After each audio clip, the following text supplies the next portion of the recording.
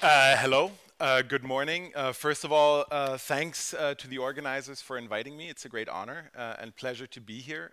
thank you. And yeah, all that's relevant for my talk about me has already been said. Um, and I am a philosophy teacher here, and I'm the father of two very young children. The younger one is just three months old, very, very fresh still. And uh, yeah, that's going to inform my talk, these two things, philosophy and being, my, uh, being a father. And you can see the title, The Most Completely New Beginning, that I'm going to explain in a moment. But it's uh, some thoughts on being born and uh, coming to grips with having to die, which has been a big topic in my life. And actually, becoming a father really kind of helped me with that. So that's what I want to share with you a little bit today. Okay, um, one disclaimer before we start this talk is not really uh, new beginning.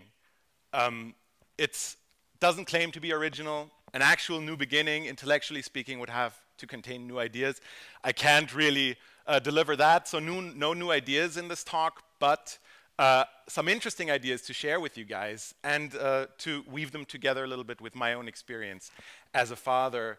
And um, yes, uh, so that's uh, uh, no claim to originality here. Now, um, why should be being born be the most complete new beginning? Yeah? That's uh, it's a bit of a, a, pretentious title, if you will. Uh, you might think the most complete new beginning would be the beginning uh, of the universe, in fact, uh, the Big Bang. But um, who knows if that's really uh, the most new beginning? According to some physical theories, actually there have been many Big Bangs, and our Big Bang uh, was just uh, one in a whole chain, and it just goes on and on and on, and then there wouldn't be really a new beginning uh, to speak of in the physical world. Yeah? On the other hand, being born uh, is a new beginning, yeah? a new space, a new consciousness, a new space for experience, a new subjectivity, something entirely new coming in the world that, in some sense, comes uh, without precedence, without anything having been there uh, before. Um, and uh, so in that, from that you can already uh, see that uh, I don't believe in reincarnation. When we come into this world, we are completely fresh. Yeah? So say no to reincarnation. Uh, like these Reformed Buddhists there, um, their reason to be against reincarnation is not mine. Yeah? Don't make the same mistake twice. but this brings me uh, to my uh, next point, and that is are these new beginnings really something we want? Are they desirable? Are these new beginnings something good? And there are two objections one hears to new humans being born that are quite common, I think. And the first one has been maybe most eloquently expressed by the uh, uh, Greek tragic poet Sophocles. And I quote from him, not to be born at all is best, by, uh, is best, far best that can befall. Um, and uh, next best when born with least delay to trace the backward way. Yeah.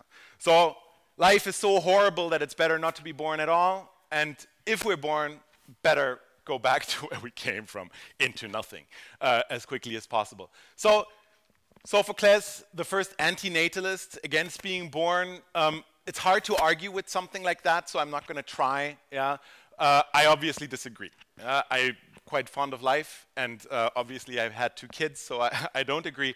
But one, here's a milder version of this objection quite frequently, and that's the idea that a world like ours, so beset with problems, injustice, climate change, so on and so forth, it's irresponsible or selfish or unacceptable to bring new life into a world like ours. And that I think is not at all a very good objection. And I'm try to make clear in my talk why. Now, the other uh, objection against uh, new uh, life being born is um, one that we humans should make ourselves immortal. Now, you may ask, why is that an objection against birth? But I would say if you think that through, once uh, some people don't die anymore, then uh, if that goes on indefinitely, at some point, uh, there's not going to be space anymore for new life. So if we want to make ourselves immortal, at the same time, we would abolish birth we would abolish new life, new beginnings in this way. And that I don't think uh, would be a good thing. Um, but this is a much stronger, I think, objection to um, new life, the new beginning of new life. Yeah? I think this desire for immortality, or perhaps also the fear of death, it's sometimes hard to say what's more fundamental, but surely both are an absolutely fundamental part of the human experience. Yeah? It's part of what makes us humans. It's one of the really primordial impulses that we have. Yeah? And uh, uh, so one sees this, of course, in religion and myths, in poetry and philosophy. Uh, this desire for immortality is everywhere. The idea of eternal life. Uh, um, and uh, just a few examples. The first epic poem that we're aware of, Gilgamesh, uh, is about the quest, a man's quest for immortality. Uh, philosopher, ancient Greek philosopher Epicurus thought that uh, our fear of death is what stands most in the way of happiness. And that's something we have to come to terms with. Yeah? And uh, finally, Michel de Montaigne, another example, he also thought that actually to philosophize is to learn how to die. And this is the most important thing, is to come to terms with our uh, finitude. And it's very, very difficult. We have to try all our lives to do that. And this is an objection that incidentally hits really close to home for me. Uh, so this fear of dying has been a really powerful uh, force in my life and uh, it started when I was about nine years old that I kind of realized, well, this is coming to an end at some point, and it just freaked me completely out. Yeah? And I think it's a very difficult uh, thought to bear. And I think, uh, I know not all human beings share the difficulty of coming to terms uh, with death, but uh, uh, many do. And I think many are motivated by this, and, um, and uh, including me. So, in a sense, I think this is a very powerful objection to, to the idea of new beginnings with new birth. Yeah? But um, uh, de so death is terrifying. We may ask, like, why not get rid of it? And actually, nowadays, we probably have the means to do so fairly soon. Yeah? Um, a famous gerontologist, uh, Aubrey de, uh, Grey, thinks actually that the first human being uh, to live a thousand years has already been born. Yeah, imagine that, that uh, with medical advances we could uh, get to a point where everybody gets really, really old.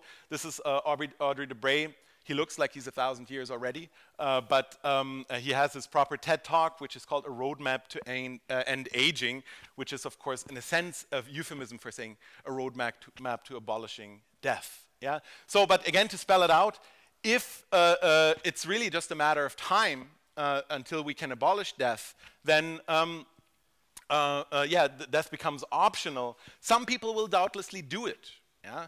And if some people will do it, then uh, at some point we'll run out of space for new humans. Yeah? And uh, so abolishing death would, in the long run, mean abolishing new humans being born. And yeah, so we, we, we can ask ourselves, so what's the problem with that? Why would that be a bad idea? Yeah? And here, um, short answer is, I think life would become terribly boring, stale, stagnant, without novelty, without innovation. And um, I'm going to draw now on three philosophers to make this point a little bit more convincing, uh, namely Hannah Arendt and uh, uh, William James and um, G.K. Chesterton, uh, to spell this out a little bit. I want to start with Hannah Arendt. She has this idea that natality, being born, is really one of the fundamental aspects of the human condition. And uh, this is Hannah Arendt. And in fact, it is so because it is the possibility for human freedom. Yeah? The fact that humans uh, beings are born and new human, uh, humans keep arriving is what uh, creates the possibility for us to be free. And to be free, she says, means to, uh, to have the ability to start something new something unpredictable, something that is not really inherent in the way things are already, to break open. Yeah, human life, this is something I think that we appreciate about human life, that it's open ended. We don't know where this journey takes us, both individually and collectively. Yeah? So uh, uh, for Arendt, freedom doesn't mean that you get, can choose between two options, yeah? a kind of freedom of choice um, the ability to do otherwise, as philosophers say. Uh, but for her, it's about doing something unpredictable, starting something new, making a new beginning, breaking established patterns. Yeah? And for her, this is especially important in uh, politics. Uh, so some examples, yeah, the French Revolution, uh, May 68, um, now Fridays for Future, all of these things, uh, political uh, movements for something new. Uh, this is what Arendt calls action, and she thinks it's possible only on the basis of um, uh, uh, natality, yeah? of uh, new being born, new humans being born. Okay, little quote from Arendt uh, um, uh, I want to share with you. So, action has the closest connection with the human uh, condition of natality. The new beginning inherent in birth can make itself felt in the world only because the newcomer possesses the capacity of beginning something anew, that is, of acting. So, in the sense of initiative, an element of action and therefore natality is inherent in all human activities. Uh, so this is really what enables us to do radically new things. So human beings as themselves being radically new beginning are the uh, uh, condition of possibility for new beginnings in the social sphere and in all spheres of human life. Yeah? So from being born, we get uh, new uh, things uh, in the social world. Okay, so this sounds very nice, but why should that be so actually? Why couldn't we imagine innovation and so on going on without infusion of new life? And here I want to draw real quick on the thought of uh, another philosopher, and that's William James. And I'm just going to read to you guys uh, a quote because uh, he writes so beautifully and poetically that I uh, couldn't express it better myself. Um, and uh, he says the following about um, about uh, yeah how we get set in our ways. In each of us, a saturation point is soon, soon reached in all things that interest us deeply. The impetus of our purely intellectual zeal expires.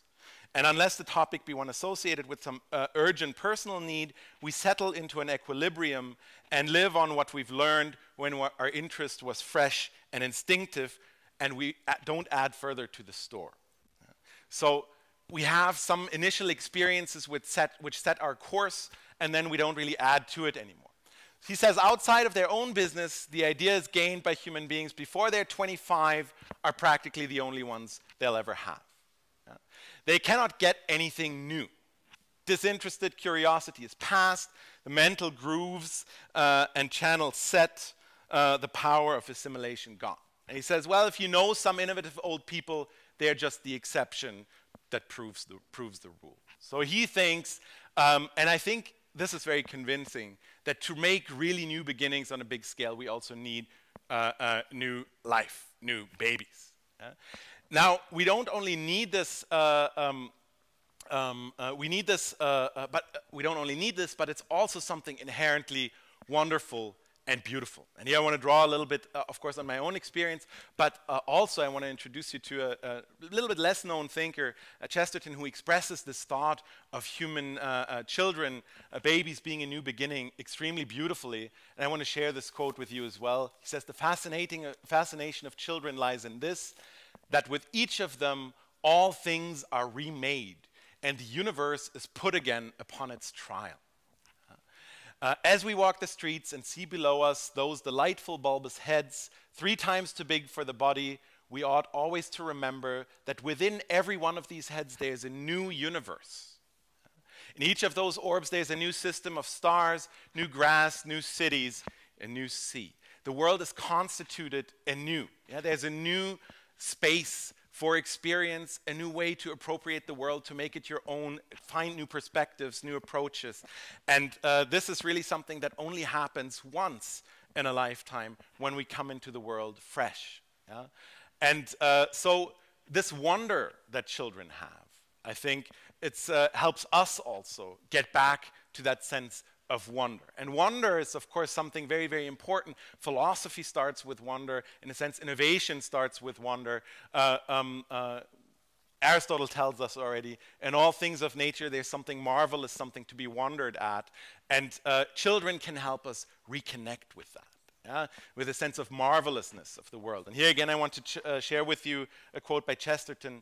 The influence of children goes further. It forces us actually to remodel our conduct in accordance with this revolutionary theory of the marvel- marvelousness of all things. Yeah? We do actually treat talking in children, talking in children as marvelous, walking in children as marvelous, common intelligence in children as marvelous, and that attitude towards children is right. Yeah? Our attitude towards grown-ups, where we take it for granted, is wrong. Yeah? So having kids, and this uh, I think is something very powerful when you have kids, you, you learn how amazing it is, all the things that we can do because you see how we learn it, how we appropriate it, yeah? how, we, how it comes about, and how, how much wonder and amazement is involved in this uh, uh, process. And so we get to see the world again through the eyes of a child. Yeah? Children, for them, everything is wonderful, everything is marvelous, and uh, they, we, in comparison, have become kind of stunted to the amazing quality of things. Yeah? And so children can help us uh, restore a sense of wonder. Yeah? A child, a small baby looking at a mobile is absolutely fascinated by that. You know? And, and uh, so in a sense, you know, they, they, can they remind us how amazing it is what we can do. A little anecdote that I always like to tell when my uh, son started to grasp that we can use the same words uh, for different things of the same kind. Yeah? He was so fascinated by this. We would sit at the dinner table and he would just say, That's a plate. That's a plate. That's a plate. And he was just absolutely, he thought that's the greatest thing that he discovered. Oh, we can use the same, the same word refers to different things. We take that completely for granted. And uh, children kind of remind us of that. Uh, um, now, uh, also, this has a kind of trickle down effect, if you will. I think that it helps us to reconnect with things on this basic level. And lots of new and great ideas, I think, come exactly through a process of going back to the basics, yeah? of this wonder at the most fundamental and seemingly most simple uh, things. Yeah? And so, being a parent uh, involved, and generally having to do with kids, involves the seeing the world again through new eyes. And I think, yeah, without new life, uh, not only is there not a new infusion of life uh, itself, but also for us, a source of inspiration and renewal goes away. Yeah? And now, to close, I want to just say uh, some general remarks, come back to the fear of death part. For me, uh, appreciating new life kind of helped me to come to terms also with uh, death, with my own finitude. Yeah? So, seeing the marvelousness of a new life actually helped me to accept that at some point I will have to go. Yeah? And without that, without us who are already here at some point making way, all these uh, things that I talked about innovation, novelty, new beginnings, and also just the concrete beauty of new life would not be possible. So, on the intellectual level, this is important, but I think you need to kind of feel it up close, viscerally, um, uh, to really uh, grasp the point fully. And so, when in class, when we were talking about death and how hard it is to kind of stomach it, and maybe the extent to which death uh, can make can seem to make life meaningless, I told my students that um, yeah, they should uh, uh, consider having kids at some point if they find themselves in the dark spot where they don't really know what to do with life anymore. And uh, one of my students uh, uh, made the very sensible objection to say, Mr. Bulling, you're aware we're just 17 years old. I say, okay, yes, not right now, not right now. All in due course, but um, I think it's, uh, it's something um, uh, uh, crucial, and both on the individual level, and if you think that the world is a nasty and cruel place and putting babies in it might not be the best idea, I would say think again, because these babies are the condition of possibility for it to be better one day uh, by making also a social new beginning. Okay, thank you very much. All in due course, the having babies part, of course. All right. Thank you very much, and um, that's it from me.